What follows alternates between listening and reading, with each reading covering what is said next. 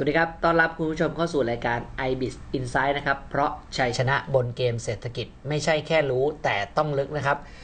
จากปัญหาหนี้เน่าของสถาบันการเงินเฉพาะกิจของรัฐ ซึ่งอยู่ภายใต้การดูแลของกระทรวงการคลัง ไม่ว่าจะเป็น SME Bank หรือว่า iBank เนี่ย ซึ่งตอนนี้เนี่ยเกิดปัญหา NPL สูงถึง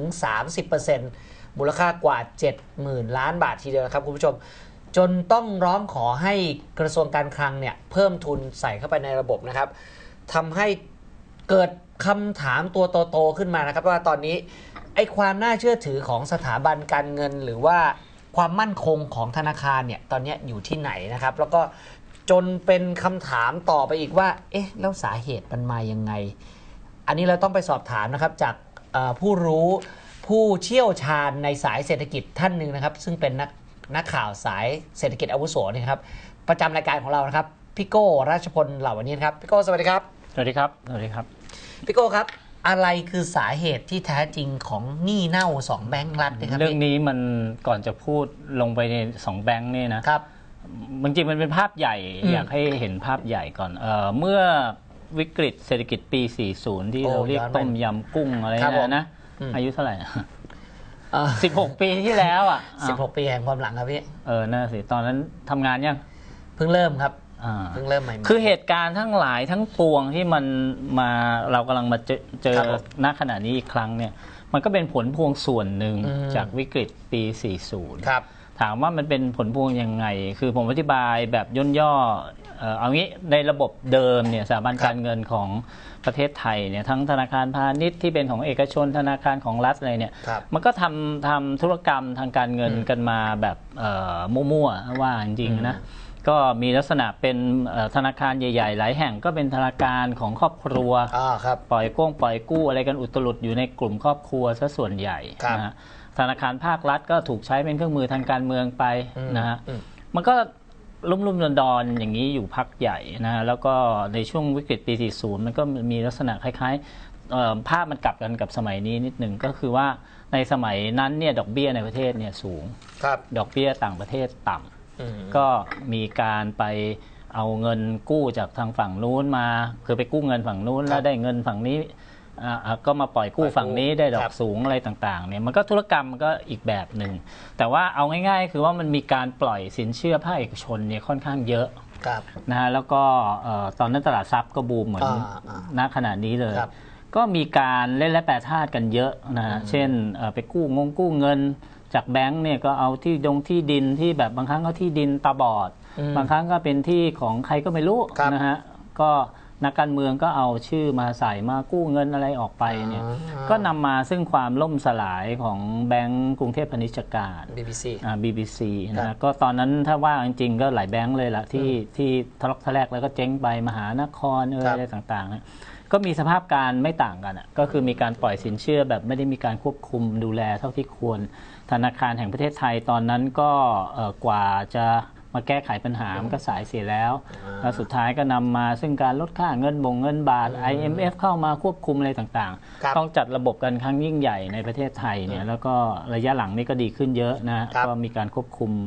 มีเรื่องของกฎเกณฑ์กติกาที่เอามาคุมมากขึ้น การปล่อยสินเชื่ออะไรก็ดีขึ้น แต่ว่าจริงๆแล้วมันก็ไปดีดีขึ้นในซีกของธนาคารพาณิชย์ภาคเอกชนอืมสถาบันการเงินภาคเอกชน แต่ธนาคารรัฐเนี่ยถ้าว่าจริงๆมันถูกปล่อยปละละเลยอยู่อืมพอสมควร ซึ่งเดี๋ยวค่อยเล่าให้ฟังแต่ว่าจุดเปลี่ยนหลังจากปี 40 เนี่ย มันจุดเปลี่ยนสำคัญก็คือมันก็เกิดมีแนวคิดณขณะนั้นว่า IMF เนี่ยเขาเป็นคนบอกนะแล้วก็มีการพูดกันเยอะว่าเฮ้ยเวลาแบงก์เจ๊งเนี่ยไม่ว่าจะเป็นแบงก์พาณิชย์เอ่อครับเอกชนหรือแบงก์ของภาครัฐเนี่ยทำไมเราจะต้องไปค้ำประกันเงินฝากให้กับผู้ฝากเงินร้อยเปอร์เซ็นต์อืมสมัยก่อนพูดง่ายๆคือตอน BBC เจ๊งเนี่ยสมมติคุณมีเงินฝากอยู่ร้อยล้านค รับเอ่อรัฐบาลก็ต้องค้ำประกันให้เงินฝากนี้เต็มจำนวนร้อยล้านให้คุณครับเขาบอกว่าโดยหลักเนี่ยมันไม่มีที่ไหนเขาทำกันที่ว่าแบงค์ไม่มีวันเจ๊งเนี่ยอืมเพราะมันก็กลายมารัฐสุดท้ายก็ต้องเอาเงินไปแบอักดรับฉีดอุ้ครัมบหนี้ทั้งหลาย ตัวอย่างที่เห็นชัดเป็นมรดกบาปไปจนถึงวันนี้แล้วก็ทะเลาะกันไปรอบนึงแล้วก็คือไอ้กองทุนฟื้นฟูเนี่ยอ่านะที่มีหนี้โมโหระทึกอยู่ แล้วก็ครับไม่รู้ใครจะเป็นคนใช้ก็ทะเลาะกันไปทะเลาะกันมาสุดท้ายตอนนี้ก็โยกมาให้ทางทปทรับผิดชอบอะไรนั่นนะฮะก็ทะเลาะกันไปรอบแล้ว เมื่อระหว่างคลังกับแบงก์ชาติครับผมคก็อันเนี้ยคือเห็นชัดเลยว่ามรดกบาปจากการที่ไม่ยอมให้แบงก์ล้มเนี่ยมันเกิดอะไรขึ้นครับมันก็เลยเกิดแนวคิดว่าเฮ้ยไม่เอาละ เอางี้ดีกว่า สาตั้งสถาบันคุ้มครองเงินฝากขึ้นมาดีกว่า แล้วก็บอกว่าสถาบันคุ้มครองเงินฝากก็จะเก็บตงจากเอ่อการทำธุรกรรมของบรรดาธนาคารพาณิชย์เอามาใส่กองกลางไว้ครับแล้วในกรณีที่เกิดมันมีปัญหาก็เอาไอ้ตงก้อนนี้แหละมาช่วยประคับประคองให้มันอยู่ได้ แต่ก็มีหลักการว่าจะไม่คุ้มครองร้อยเปอร์เซ็นต์อีกต่อไปแล้วครับคือถ้าแบงก์มันจะเจ๊งมันจะล้มจริง ๆ ก็ต้องยอมให้มันเจ๊งให้มันล้มครับแต่ว่าก็ต้องพยายามให้ความช่วยเหลือในระดับหนึ่งให้ฟื้นฟงฟื้นฟูได้นะ แต่ไม่ควรจะไปค้ำประกันเงินฝากครับ ร้อยเปอร์เซ็นต์แล้วสถาบันคุ้มครองเงินฝากก็เลยเกิดขึ้น ก็มีพรบสถาบันคุ้มครองเงินฝากขึ้นมา ครับ แต่ว่าเขาก็มีการกำหนดกติกาว่าอ้าวแล้วถ้าเกิดมันมีปัญหาจริงๆเนี่ยจะอืม จะค้ำประกันเงินฝากกี่เปอร์เซ็นต์กี่เปอร์เซ็นต์มันก็นำมาซึ่งแนวคิดว่าจะค่อยๆ ลดระดับ อืม เช่นเอ่อเดิมถ้าผมจำไม่ผิดร้อยล้าน ลงมา 50 ล้านลงมา 20 ล้านลงมาเหลือล้านหนึ่งอะไรเนี่ยฮะช่วงต้นๆของการตั้งสถาบันคุ้มครองเงินฝากก็เป็นแนวนั้น ทีนี้มาเมื่อรัฐบาลชุดนี้เข้ามาเนี่ยก็เพิ่งเปลี่ยนตอน 11 สิงหาเนี่ยความจริงเนี่ยไอการคุ้มครองเงินฝากมันจะลดลงมาเหลือแค่ล้านหนึ่งต่อบัญชีต่อเอ่อต่อแบงค์เนี่ยแต่ว่าทางคุณกิติรัตน์นรนองเนี่ยรัฐมนตรีคลังหลังจากที่มารับไม้ต่อจากคุณธีรชัยเนี่ยครับแกก็บอกว่าเอ๊ห้าสิบล้านลงมาที่ 11 สิงหาปีที่แล้วเลยเลยเหลือ 1 ล้านเนี่ยมันจะยุ่งนะ เพราะว่ามันจะทำให้เอ่อผู้ฝากเงินเนี่ยความหมายมันคือว่าถ้าฝากเกินล้านหนึ่งแล้วเกิดแบงก์มีอะไร เจ๊งเนี่ยรับประกันล้านเดียวแค่ร้านเดียวเขาบอกเฮ้ยมันเร็วไปแล้วมันถ้าถ้าเป็นอย่างนี้มันอาจจะทำให้เกิดความวุ่นวายในระบบ เช่น อืมถ้าเกิดคุณมีเงินเยอะๆคุณก็ต้องไปฝากหลายๆแบงก์เยอะแยะไปหมดเลยกระจายความเสี่ยง กระจายความเสี่ยงไป ครับ เขาก็บอกว่าอย่าเพิ่งเลย ขอให้ชะลอไป 3 ปี ก็ปัจจุบันนี้ก็ยังคุ้มครองที่วงเงิน 50 ล้าน ครับ ต่อ 1 ธนาคารอยู่อืมนะฮะเอ่อแต่ไอไอสถาบันคุ้มครองเงินฝากเนี่ยมันก็มีข้อยกเว้นไว้สำหรับธนาคารรัฐ ครับ ธนาคารเฉพาะกิจ ทั้งหลายของรัฐเนี่ยเขาบอกว่าจะเข้าหรือไม่เข้าแล้วแต่ธนาคารนั้นอืมนะความหมายมันคือว่าถ้าเกิดว่าธนาคารพวกนี้เข้ามาก็จะให้การคุ้มครองตามเนี้ยตามกฎกติกาของพรบก็คือว่าณขณะนี้ 50 ล้านไปอีก 3 ปี แล้วก็ลงมาเหลือหนึ่งล้าน แต่ว่าเอ่อส่วนใหญ่ไม่เข้า คือเขาบอกว่าถ้าจะเข้าต้องไปออกพระราชกิจฎีกาเพื่อจะขอเข้ามาอะไรเนี่ยนะแต่จนถึงปัจจุบันธนาคารรัฐส่วนใหญ่ไม่ไม่มีใครเข้าอืมก็ยังเป็นที่เข้าใจได้ว่าธนาคารรัฐทุกแห่งยังค้ำประกันเงินฝากเต็มตามจำนวนเต็มตามจำนวนนะก็คือร้อยเปอร์เซ็นต์ทีนี้ไอ้เรื่องนี้ความจริงก็เกิดเหตุเมื่อเออสัปดาห์ที่แล้วครับเพราะว่านายกเนี่ยไปโดนถามเรื่องไอ้แบงก์เจ๊งเนี่ยแหละไอ้แบงก์ SME แบงก์เนี่ยครับแล้วนายกแกก็งงงๆมึนๆแกก็ตอบไปตอบว่าทำนองว่า เออไม่ต้องเป็นห่วงนะคะ เพราะว่าธนาคารพวกนี้อยู่ภายใต้พรบคุ้มครองเงินฝาก ครับ เพราะฉะนั้นเอ่อไม่ไม่ต้องไปถ่ายถอนนะไม่ต้องไปถอนคือครับมันมีข่าวว่าคนจำนวนมากไปถอนเงินเพราะใช่กลัวครับ แบงก์รันไงครับแกก็พยายามจะพูดเพื่อไม่ให้แพนิคอ่า ไม่ให้ตื่นตระหนกให้มีว่าความเชื่อมั่นเฮ้ยอยู่เออครับ อยู่ภายใต้พรบคุ้มครองเงินฝาก ครับแต่สาระสำคัญคือผิด อือฮึ คือมันไม่อยู่ และความที่มันไม่อยู่เนี่ยมันเป็นธนาคารรัฐเนี่ยครับธนาคารรัฐก็เลยรัฐบาลค้ำประกันไงเพราะฉะนั้นก็เลยยังคงมั่นใจได้ว่าเงินฝากทุกบาททุกสตางค์ที่คุณฝากไว้ครับ เนี่ยไม่หายไปไหน รัฐยังเพราะรัองฐบาลอยู่มีหน้าที่ ค้ำพวกคุณอยู่ครับ นะเพราะฉะนั้นก็ก็เป็นประเด็นที่เขาก็ล้อเลียนกันในโซเชียลมีเดียว่าไม่รู้เรื่องอีกแล้วคุณปูผมอะไรอย่างเงี้ยนะฮะ ครับ อันนั้นก็เป็นโจ๊กเล่น ๆ กันไป แต่นี้ภาพที่เล่าให้คุณฟังทั้งหมดเนี่ยก็จะเห็นว่า ในกรณีของแบงค์แบงค์ภาคเอกชนเนี่ยครับมันจะถูกกฎเกณฑ์กติกาคุมเยอะธนาคารแห่งประเทศไทยจะเข้าไปดูแลเป็นระยะระยะว่าเอ่อหนี่สินต่อทุนเป็นยังไงครับหนี่สินเชื่เสียอเท่าไหร่สินเชื่อเออครับมันก็จะดูเป็นระยะระยะครับแต่ในขณะที่ธนาคารที่เป็นธนาคารเฉพาะกิจเนี่ยอืม ดูห่างๆ มันมีหน่วยงานกำกับดูแลของทพทก็จริง คณะกรรมการนโยบายสถาบันการเงินเนี่ยครับ เขาก็จะดูแลอยู่ในระดับหนึ่ง แต่ว่าเขาจะไม่เข้าไปถึงขนาดไปสั่งไปควบคุม อย่างเก่งถ้าเขาเห็นอะไรผิดปกติ เขาจะทำหนังสือแทงไป อืม ว่าเฮ้ยมันมีสัญญาณบ่งชี้บางอย่างครันะบ ไปดูซิ แล้วธนาคารเหล่านั้นก็ขึ้นอยู่ว่าใครถือหุ้นใหญ่อืม นะอย่างออมสินคลังถือหุ้นใหญ่ทกส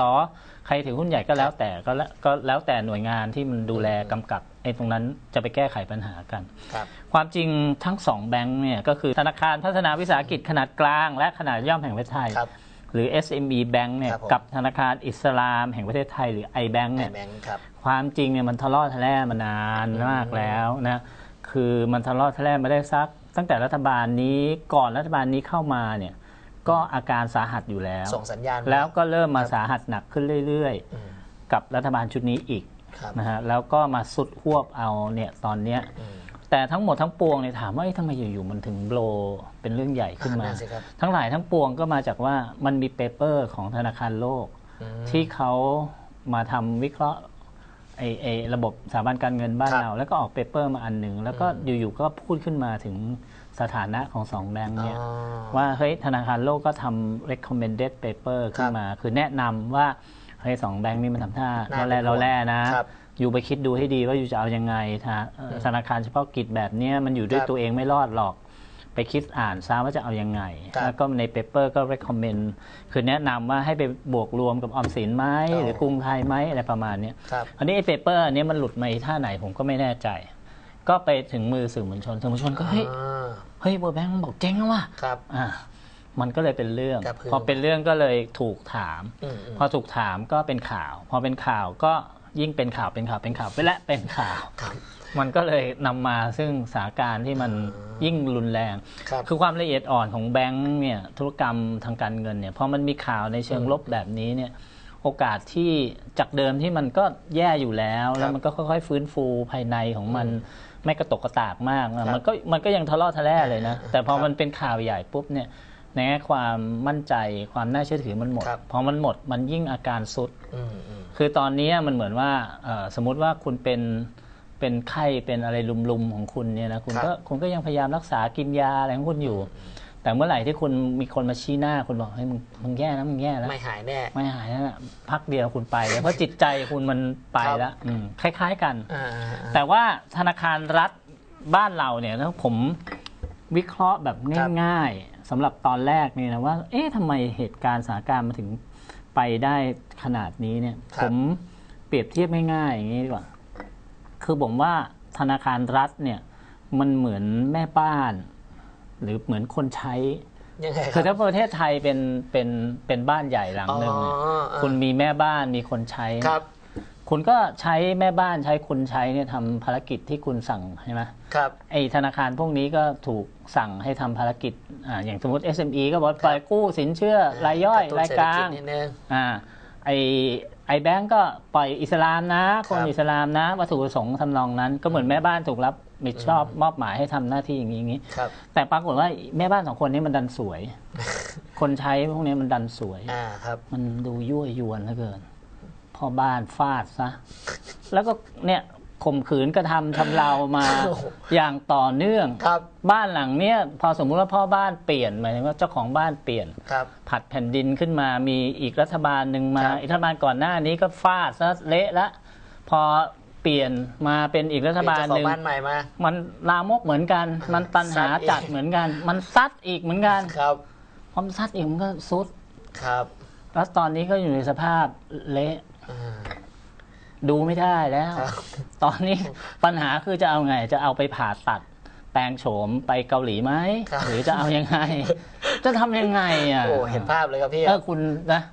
เห็นภาพเลยพครัอบนึกภาพออกไหมเห็นภาพเลยตอนนี้ครับทางออกคือโคม่าแล้วครับ เอาไงจะผ่าตัดกันข้างยิ่งใหญ่เลยไหมหรือปล่อยเอาละไปไปนู่นแล้วขึ้นเมนแล้ว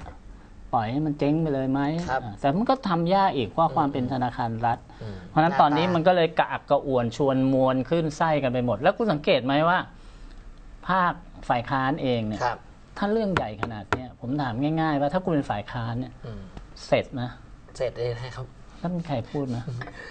มีฝ่ายค้านออกมาโวยอะไรนักครับหนาสาหัสไหมอืมเพราะทุกคนเนี่ยเคยเป็นเจ้ามีของขบ้ายะนมาก่ใต้อนพรมข่มขืนเข้ามาขนาดนั้นครับปุย่ำปุยีเข้ามาขนาดนั้น เมื่อไหร่ที่คุณไปชี้หน้าไอ้ไอ้เจ้าของบ้านหลังใหม่ว่าอืมเฮ้ยมึงข่มขืนคนใช้มึงข่มขืนแม่บ้าน